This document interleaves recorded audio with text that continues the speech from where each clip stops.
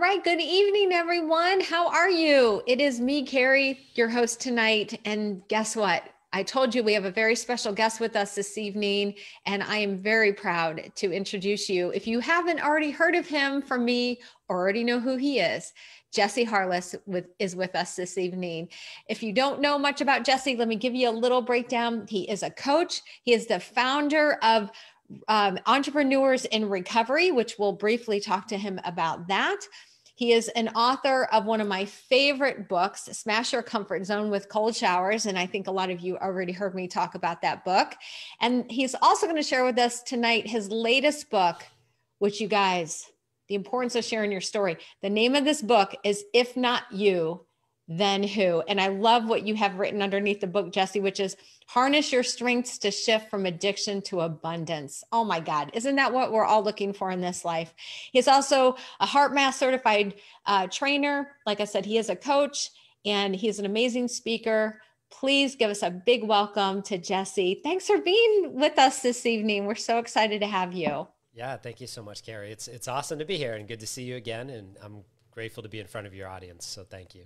Oh, yes. Well, I want to, I'm going to switch over to speaker view here in just a second so they could focus just on you.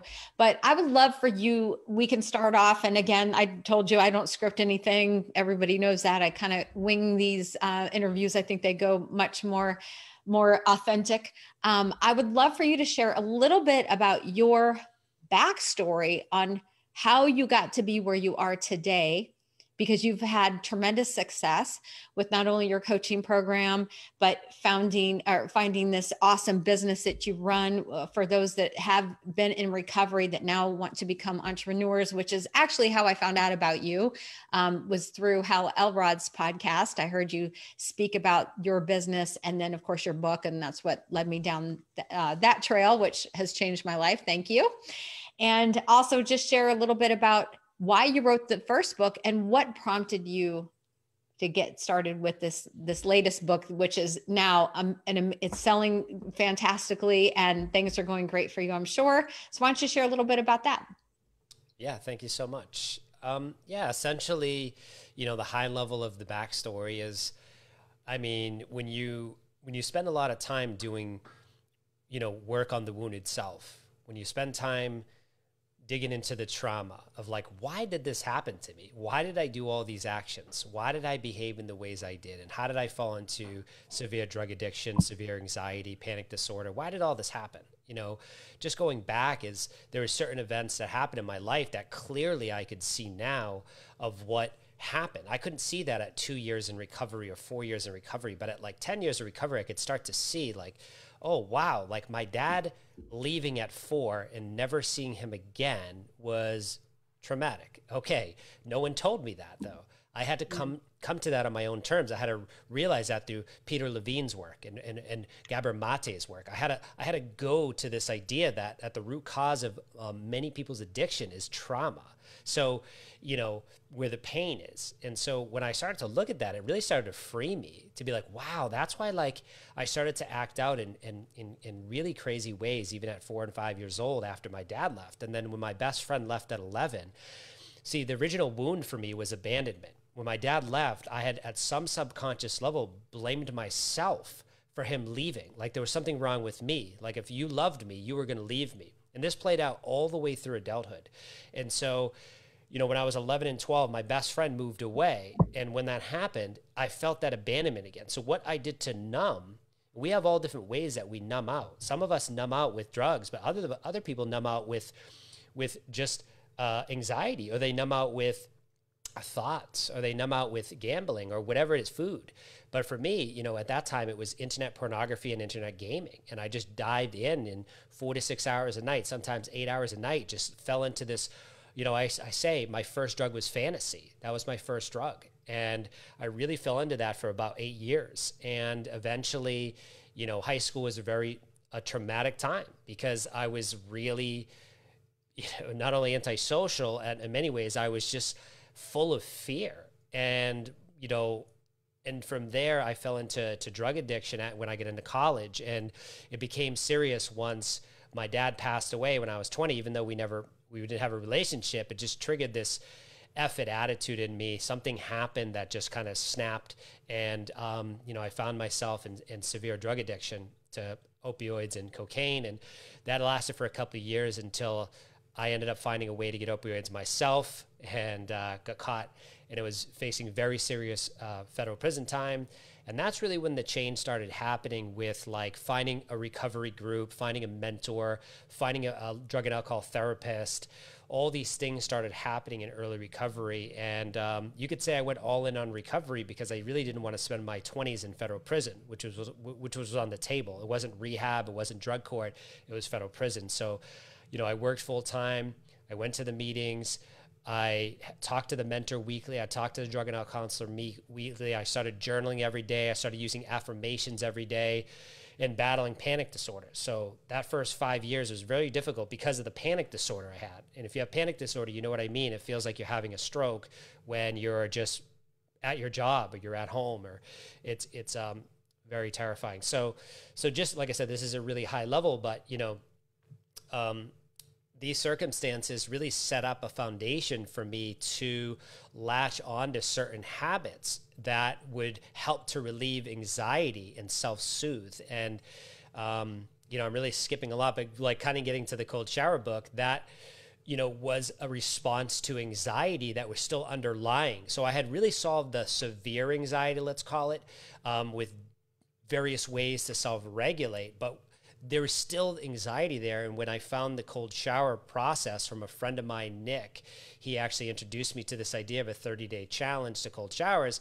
I started to notice my anxiety started to go away completely. And it was really ironic because I was already doing certain habits, but this one just helped. And so, you know, I just took a look, a little bit deeper look into that. And a couple years later, I wrote a book because people had asked me, like, why did you, why do you take cold showers? And I would tell them why. And they'd be like, I've never heard that reason. So, um, hopefully that catches us up to to that part and i'll stop if you have any other questions there no i think that's great thank you so much for sharing that and and you know you said something that's really important i'm going to put us back on um so both of us they can see us both is so important, Jesse. And a lot of addictions are started with trauma, trauma in our nervous system, the response that we have to it. And a lot of times we don't even realize that we have trauma that has occurred. Because when we hear the word trauma, we naturally think of what we refer to as big T trauma, the big things that have happened, abuse, you know, like severe trauma is what we think of in our mind. But I want the the listeners to know and for everybody to know you don't have to have this big T trauma in your life you can also have little t trauma that has affected you in ways that you're not even sure of or clear of until you get older and you start to notice some of the patterns and the habits and the reasons why you're numbing out and escaping from some of the things you're trying to escape from. And I think that's an important aspect of your story. I had trauma in my life um, as well. I think pretty much everybody has but we move into comparison. Well you know i never was raped or i never had abusive parents or you know we think along these lines but it could be something as small as you know you got teased eh, one day on the playground and something was said to you and that just stuck in your head and I'll give you like just one little thing with me at five years old in kindergarten, I was teased for being super fair and they all called me Casper. So my entire life, I've been very conscious about my fair skin.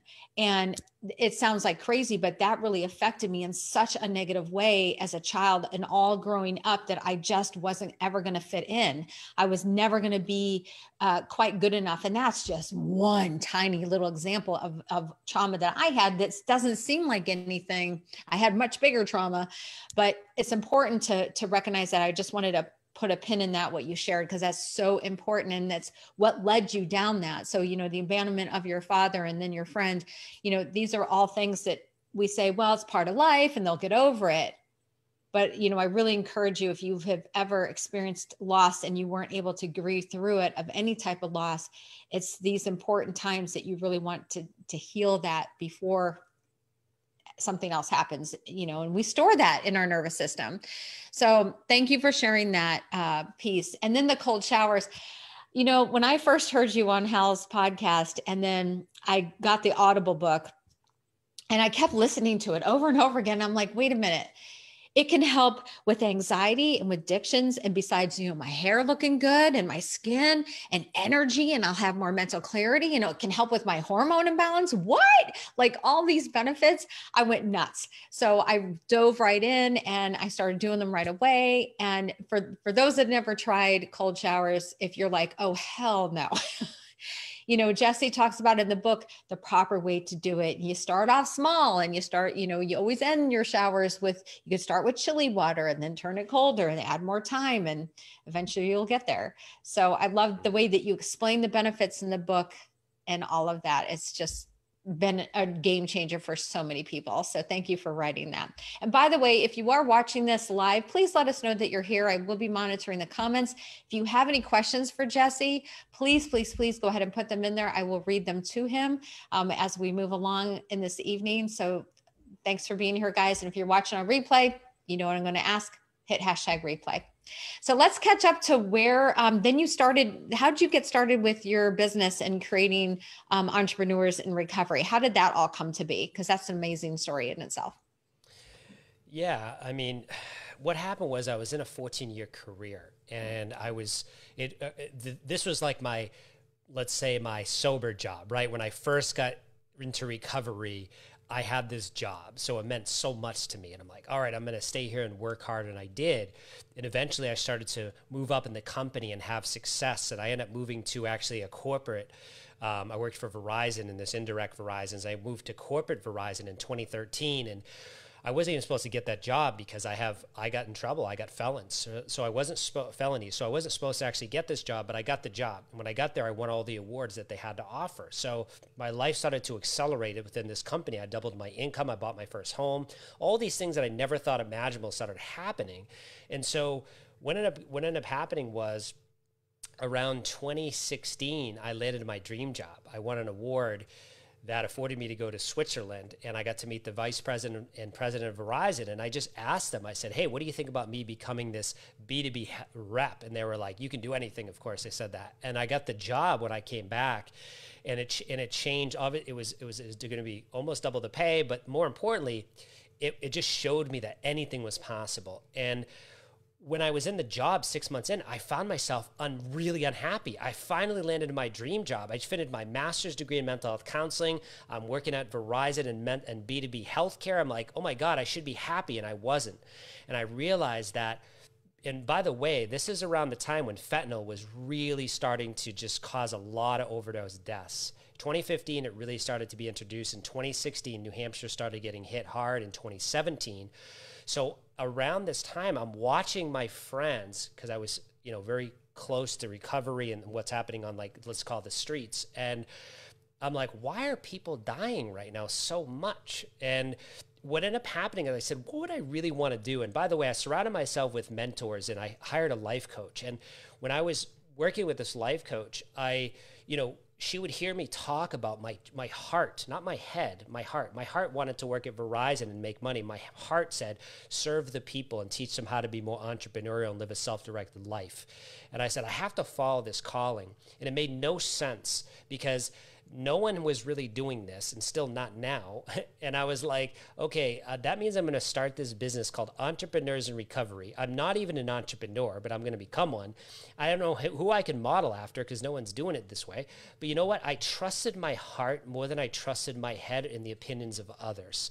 And that's when I realized that I've been doing that my whole life, but I hadn't been listening the whole time to my intuition. And when I listened to my intuition in 2017, I left the job and start entrepreneurs in recovery. And what this was going to be was to, it was going to be a coaching business to help people to to live a more self-directed life, which is in many ways what an entrepreneur does.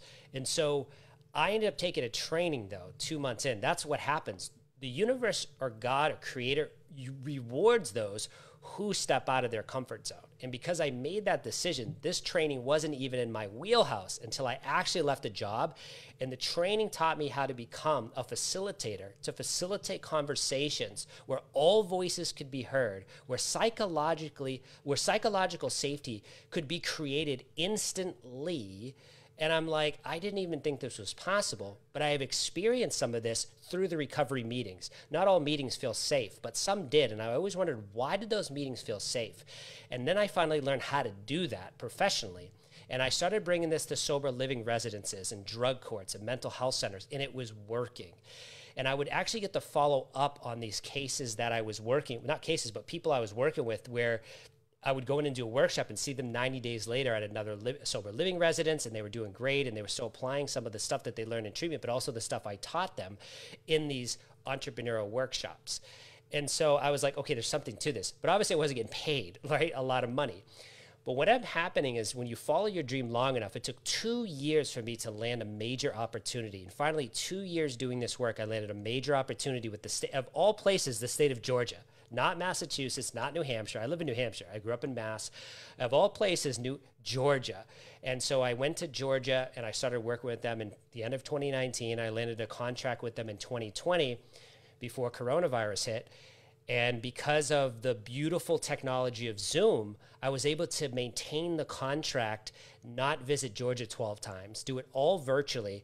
And what I did in Georgia is I worked with uh, over 400 of their uh, peer recovery coaches and taught them the art of facilitation and taught them the, the art of psychological safety and, and these different modalities and, and, and let's call them technologies of how to create conversations worth having that could actually change a person's life. Because if someone feels safe, they're going to be vulnerable and they're going to take risks and they're going to ask for help. So th- those were the types of environments I'd been creating. And finally, Georgia saw that and brought me in. And we had to do it virtually because of COVID, but it worked out beautifully. And um, so that's kind of catching up to speed about what Entrepreneurs Recovery is today. Yeah, and that's a good segue into, I think that kind of falls right into the lines of your book and why the title is so good and, and about the story Oh my gosh, I'm so excited that you shared that. First and foremost, the other thing I wanted to really capture and all of that for the listeners is Jesse did something that was completely out of his comfort zone, right? It felt crazy, which you know then it's right. If you ever have a calling on your life or you have such a pull and it seems like totally absurd, but you feel as though you have this energetic pull, whatever you want to to call your creator i call i say god but whatever you feel comfortable with if you have this direct pull oh it is your chance it is the opportunity is the reason it's like your purpose is being fulfilled. That's what happened with me which is why i started this business. Same same kind of thing. It seemed crazy for me to leave this job the job i was at before but here we are and so I, I, love that you did that. And more importantly, I love that you had such a calling to give back to others, especially the recovery community. And the fact that, you know, it's one thing that we think about um, even prison reform. You know, they go to prison and it's like, well, good luck, see ya, do your time and get over yourself. And we think that that's helping. So there's so much help between um, those that are in need and we tend to turn a blind eye for those that really truly need it. But you stepped us to the plate and said, no, not only are they going to work on getting themselves healthy and healed from their addiction, but now I'm going to come in and I'm going to help them become the best person and version they can be by empowering them to create and do what their calling is in their life. Mic drop, you guys. This is like huge. So if you know anybody that can really benefit from Jesse's services, please reach out to him because this is like ginormous. This is a really good opportunity for those that really need it. Now, most of the community here don't um, aren't in recovery there are some that are but most of them are in that gray area where they're you know kind of testing the waters of what this might feel like you know thinking about giving up drinking and or other things but this really i mean we all know somebody that's that is identifies as alcoholic addict that has been in recovery. I mean i went to 12 step program everybody knows that. So it doesn't matter where you fall on either side of the the spectrum it does not matter. Just know that there's so many things out there and jesse's bringing a lot of this to the world which is just amazing. So your new book jesse is called if not you then who. And on your website i wrote this down i love this so much because i talk about the importance of sharing your story. We get so afraid to tell anybody. And this is what keeps people in the gray area when we stay very quiet and hidden. And then what happens is we if we do this too long we can end up getting severely addicted and severely abusing alcohol and or other things. So this is why it's so important that you're you feel you can share this with somebody even just one person you've heard me say this uh, multiple times sharing your story with just one trusted person and even a stranger sometimes feels really good to share right there's no judgment with that but when you allow yourself to expel this out instead of holding it in, this is part of the healing process. So you wrote on your website um, where your book is Your Story Matters. No matter who you are, where you've been, or what you've done, oh, nothing, nothing has been wasted. Oh my gosh. This is so very true. Listen, we all have a story. Just like me, I turned my mess into my message, just like Jesse did and you also have a message within you, no matter what has happened in your life, no matter what you've done, no matter how bad it seemed, no matter what sins you've committed in the past, there's always something there, whether it's a, a lesson to be learned, a, a, a step forward towards something else, a setup as we call it. There's always these blessings of what we consider failures.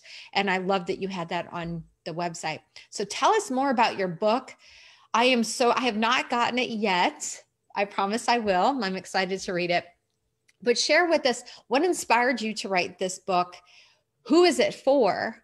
And anything else you want to share about it? Yeah, thank you so much. Thank you so much. And I relate to everything you said, of course. And uh, I'll let you know that this book, if if you want to know who it's for, it's for everyone. I specifically wrote this book thinking about my story because when I first went to look into the market of the books in the uh, in the addiction recovery market, I said, okay, let's look at some of the top books, and a lot of them are memoirs. But I didn't want to write a memoir. I wanted to tell my story, but then I wanted to go into a solution, a deep solution. So I didn't just want to be able to tell this story of triumph and then like what happened. I wanted to be able to say, here's what happened here's here's what's happening now but here's a recovery toolkit that you can follow whether you're in recovery or not because i have learned from incredible mentors and coaches and because of the time i've invested into myself because i needed it it was like a requirement for me for my mental health conditions that i had and being able to just you know go deep into my feelings and, and really start to help this deeper wounded self trauma. You know I created a book where I got to share my story and all the things that I thought were relevant to share about trauma and about my story so that people can read it, whether they're in a recovery or not, and say, wow, okay, I can see myself in some of this. But more importantly, the next literally five chapters after the, the, the initial story, which is kind of like a memoir, is a recovery toolkit. And this recovery toolkit, when you hear recovery, a lot of times you're thinking, oh, drugs and alcohol. I'm talking about recovery from power, recovery from fear, recovery from limitations, and recovery from being unhappy, because we can get addicted to being unhappy. We can see that now when we study the brain and the chemicals that are released that keep us stuck. So, when I say recovery, I mean, I truly believe we're all in recovery from something. So, this recovery toolkit is based off this idea that fear oftentimes keeps us really stuck. Even successful people who never had addiction get stuck and so this toolkit, I called it fears. And I did that intentionally because people look at fear as such a negative thing. And, and used in, the, and, and for the wrong reasons, it is a negative thing. But for the most part, fear can serve us, can protect us, but fear can also be a compass. And so the idea of Fear's Recovery Toolkit is this five ideas, and I, we don't have time to get into all of it, but I'll tell you it's focus, elevate, appreciate, resilience, and self care. Mm. And each of those, there's 30 steps inside of that toolkit. And that sounds like a lot, but some of the steps are read five pages a day. It's really simple stuff. Some of it is, is a little more deeper because a lot of us are not really getting to the root cause of why we're stuck.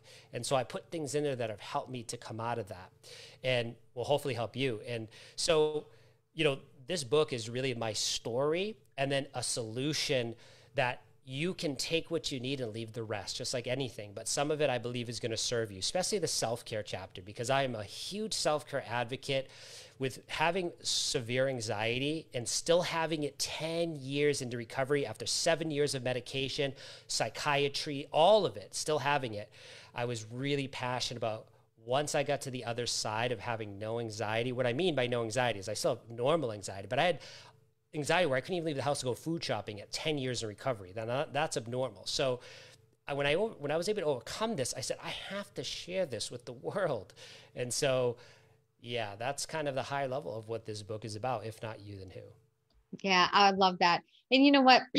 you have to. You almost. You sometimes feel. Maybe I should ask it this way: that you were allowed to go through the things that you had to go through to be in this place for you to be doing what you're doing right now. Do you ever feel like you were meant? Hundred percent yeah.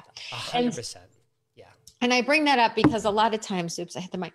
a lot of times we'll ask a question like, why is this happening to me? Why is this not working out for me? Why do I have to deal with this? And while you're going through any situation, those questions are, you know, a reasonable thing to ask. Like it doesn't seem fair.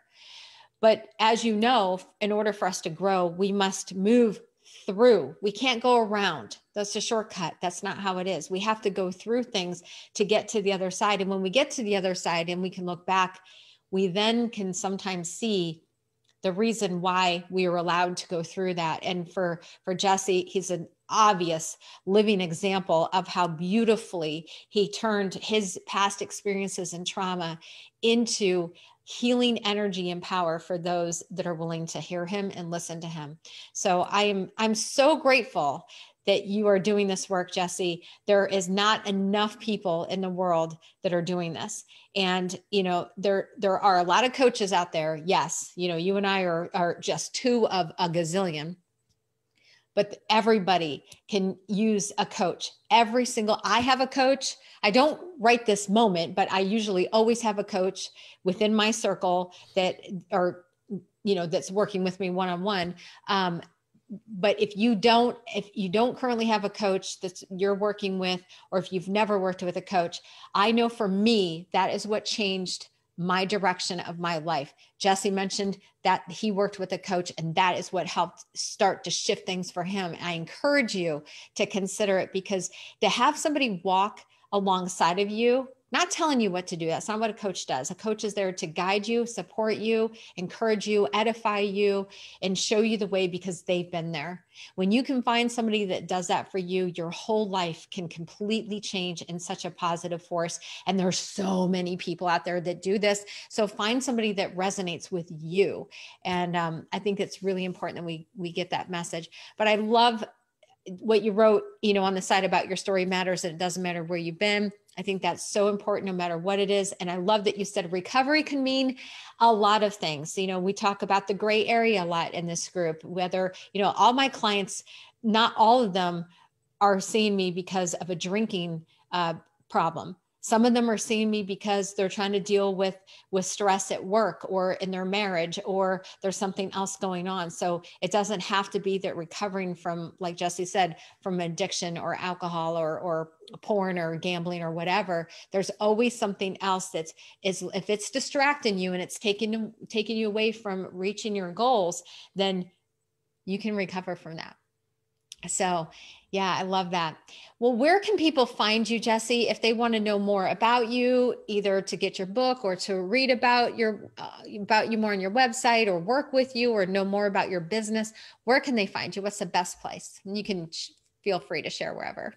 Yeah, I mean, the book is on Amazon, so just go to Amazon and type in "If Not You, Then Who." Um, if you want to reach out to me personally, and I respond to all messages, so go to uh, jesseharless.com. You can just send me a message there and yeah, that's the easiest way.